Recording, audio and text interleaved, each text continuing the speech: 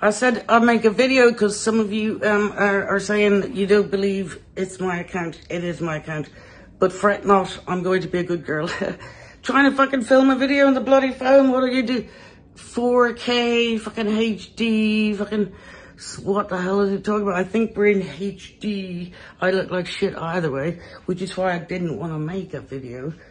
But, uh, you know, the way your kid, unfortunately, passing away, it isn't good for one's body or soul, to be fair. But anyway, look, let's not dwell on that. Anyway, hi guys.